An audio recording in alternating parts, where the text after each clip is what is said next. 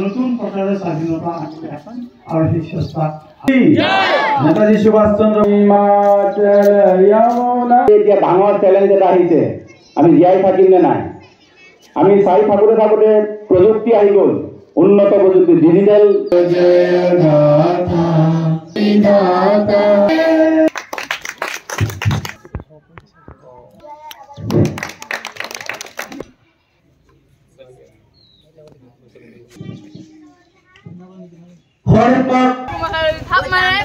কৰে পূবমালেবাৰী নেতাজী ক্লাবে মহান ভাৰতবৰ্ষৰ স্বাধীনতা সংগ্ৰামৰ সংগ্ৰামী নেতাজী সুভাষ চন্দ্ৰ বসুৰ এশ ছাব্বিছতম জন্ম জয়ন্তী পূবমালেবাৰী নেতাজী ক্লাবে দিনজোৰা কাৰ্যসূচীৰে আমি আয়োজন কৰিছোঁ।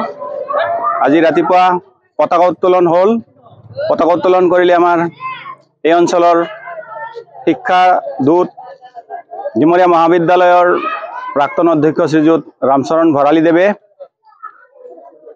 আৰু দ্বিতীয় কাৰ্যসূচী বন্তি প্ৰজ্বলন কৰিলে আমাৰ শ্ৰীযুত কৃপেশ চন্দ্ৰ দে সমাজ সেৱক ইয়াৰ পিছতে আজি গোটেই দিনজোৰা কাৰ্যসূচীৰে ছাত্ৰ ছাত্ৰীসকলৰ মাজত চিত্ৰাংকন প্ৰতিযোগিতা খেল ধেমালি বিভিন্ন খেল ধেমালিৰ আয়োজন আৰু আবেলি মুকলি সভা অনুষ্ঠিত হ'ব।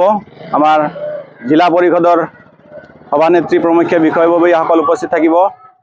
আৰু সন্ধিয়াৰ সাংস্কৃতিক অনুষ্ঠান স্থানীয় শিল্পীসকলৰ দ্বাৰা সাংস্কৃতিক অনুষ্ঠানৰ আমি আয়োজন কৰিছোঁ।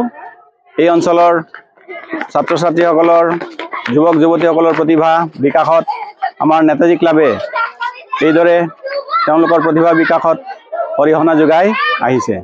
আমি সকলো অঞ্চলবাসীকে নেতাজীৰ এই পবিত্ৰ জন্ম দিৱসত আমি অভিনন্দন জনাইছোঁ। আশা কৰোঁ সকলোৰে মংগল হওক।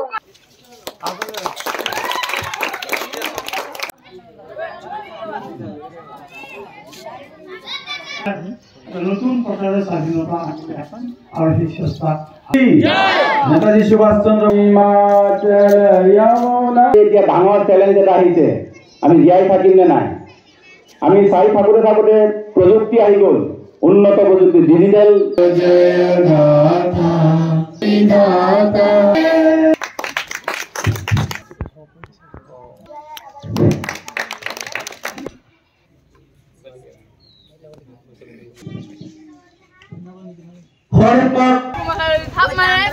কৰে পূবমালেবাৰী নেতাজী ক্লাবে মহান ভাৰতবৰ্ষৰ স্বাধীনতা সংগ্ৰামৰ সংগ্ৰামী নেতাজী সুভাষ চন্দ্ৰ বসুৰ এশ ছাব্বিছতম জন্ম জয়ন্তী পূবমালেবাৰী নেতাজী ক্লাবে দিনজোৰা কাৰ্যসূচীৰে আমি আয়োজন কৰিছোঁ।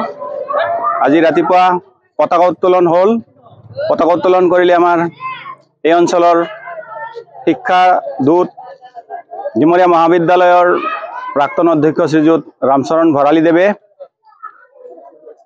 আৰু দ্বিতীয় কাৰ্যসূচী বন্তি প্ৰজ্বলন কৰিলে আমাৰ শ্ৰীযুত কৃপেশ চন্দ্ৰ দে সমাজ সেৱক।